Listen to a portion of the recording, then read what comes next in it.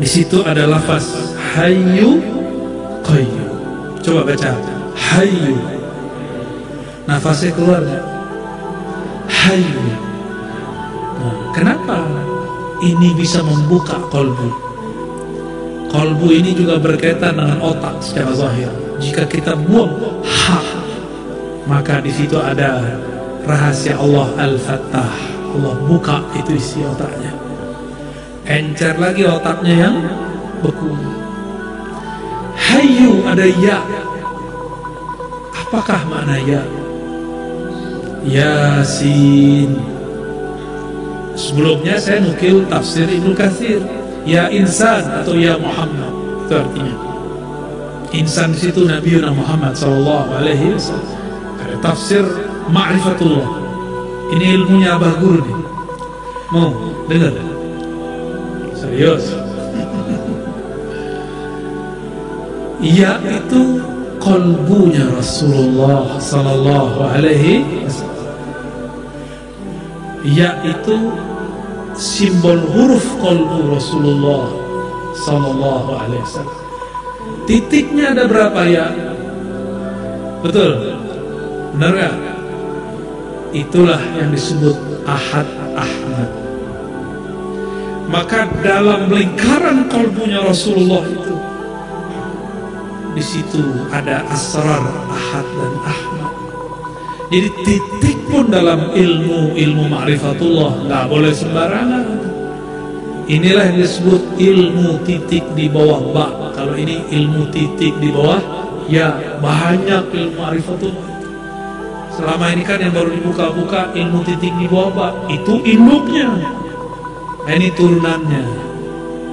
Ya. Semuanya ada rahasianya. Tidak ada satu titik yang sia-sia.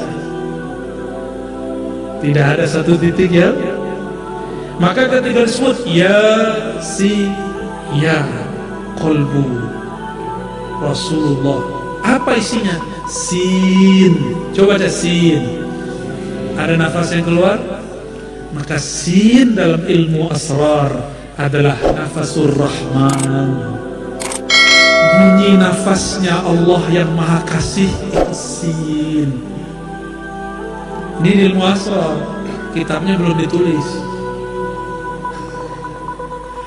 Kitabnya baru dijelasin. Ibn Arabi sudah pernah jelaskan tapi masih umum. Imam Al-Buni menjelaskan tapi versi raja jadilah jimat karena yang bikin jimat bukan wali jimatnya jadi wali setan karena salah satu titik itu bahaya. Maka saya tidak menganjurkan antum menggunakan wifik raja dari kitab cetakan Syekh Al-Buni itu. Apa judul kitabnya? Syamsul Ma'arif Al-Kubra. Karena itu cetakan. Itu raja harus ditulis tangan, nggak boleh pakai cetakan. Di situ banyak kesalahannya. Fotokopi lagi beda. Yang sahih itu yang masih manuskrip. Manuskrip tua masih tulisan nama walaupun saya dapat sanat Syamsul Ma'arif Kubra tapi saya nggak manjurkan ya? Itu ilmu beliau ilmu huruf. Satu titik ada maknanya satu alif ada artinya. Karena kalau alif hilang ahad jadi apa had maknanya berubah ya? Maknanya berubah. Coba ba gak dikasih titik gimana cara bacanya? Hmm, penting gak titik? Penting. Tapi orang yang dibutakan hatinya mengatakan gak penting. Arosi dongeng apa lagi nih? Gak apa-apa ya? Biarin aja mereka.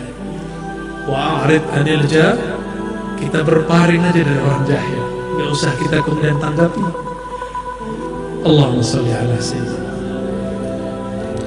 jadi hayu itu pembuka kolbu. Ya, pembuka kolbu. Silakan diamalkan terus. Ya, itu bukan bid'ah. Ternyata dalam hadis yang sahih Nabi sering berzikir Ya Hayyu Ya Qayyum Ya Hayyu Qayyum Dan Nabi mengatakan itu Al-Ismul A'zam Nama yang agung. Jika kita memanggil dengan nama itu pasti noleh. Contoh paman birit berarti itu nama agung. Hmm. Pak Gubernur. Iya. Pak Syahbirin paling kecilnya apa di kampung iya deh lihat sana dulu sana dulu Aing? Tuh. Kalau orang dipanggil dengan namanya Dia noleh. Coba bilang Hoi. Hoi. Gak noleh-noleh. Malah ngeliatnya gini Ya kan Lu siapa? Negur-negur gua ya kan Kalau jauh Ya Rob Ya Allah kalau dekat Allah. Kalau jauh, oi, oi. Ya. Oi itu ya. Ya ayyuha. Ai itu kan bahasa Arab juga tuh. Kita jalan tiga orang, terus orang manggil, oi, oi, oi, nggak noleh kita. Tapi kalau oi, ai, gitu. pasti noleh. Hmm, kayaknya teman masa SD nih. Istilahnya teman baju putih merah. Nah, ini istilah kawan saya. Benar, Paman Birin kalau dipanggil Ai, berarti teman SD itu ya. Kalau dipanggil Paman Birin, itu siapa tuh? Baru-baru aja. Ada yang manggil Suwe? Ada ya? Ada bilang gitu?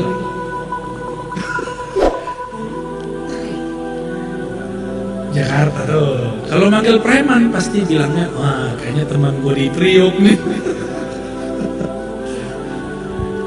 Orangnya satu, namanya banyak, itu baru manusia. Apalagi Allah. Dan oh, cara orang memanggil seseorang itu menunjukkan makom dia di sisi orang itu. Seberapa jauh dia kenal kepada yang dipanggil. Sama. Kita manggil Allah dengan nama yang mana? Segitulah ma'rifatullah yang kita punya. Ya? Baru kenalnya 99 nama ya? Betul? Itu pun jarang dibaca ya? Gimana mau usul